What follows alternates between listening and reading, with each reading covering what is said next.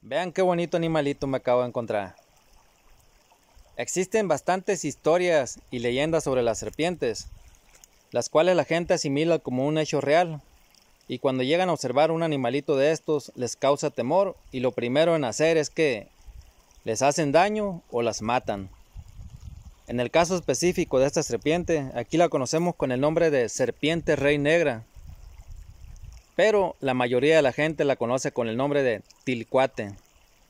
También se le conoce con el nombre de serpiente índigo, culebra arroyera o culebra negra. Una de las leyendas que hay sobre esta serpiente es que no le tienen miedo a los humanos. Y si te acercas demasiado, lo que hacen es que se te echan encima agarrándote a chicotazos con la parte de la cola, lo cual te causa bastante dolor, pudiéndote ocasionar la muerte. Otras de las historias que hay sobre esta serpiente es de que para matarlas hay dos maneras. Una es colocándole una trampa que se hace clavando un machete en el suelo y le colocas un sombrero en la parte de arriba. La serpiente al ver el sombrero asimila que es un ser humano y se le echa encima, agarrándolo a chicotazos o enrollándose en el machete. Y así ella misma se causa la muerte con el filo del machete. Y la otra manera es yendo al monte, cortar una vara verde y con esta vara agarrarla a chicotazos hasta causarle la muerte, según porque éstas nacen de las varas. Pero la leyenda o historia más famosa es de que persiguen a las mujeres embarazadas o que están dando pecho para alimentarse de la leche. Algo totalmente falso ya que las serpientes no pueden digerir la leche y mucho menos cuentan con labios con los cuales puedan succionar.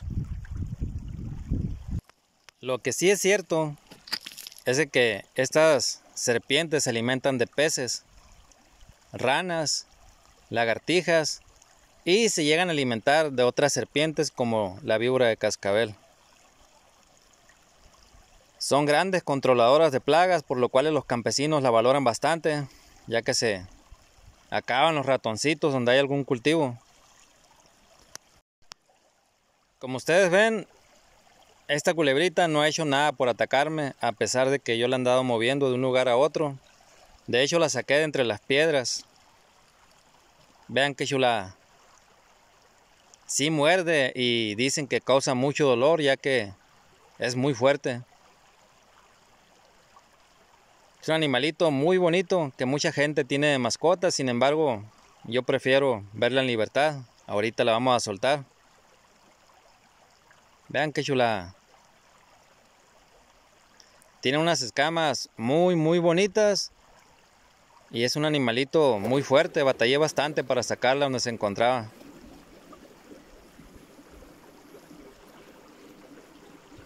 Ahí la vamos a dejar que se vaya.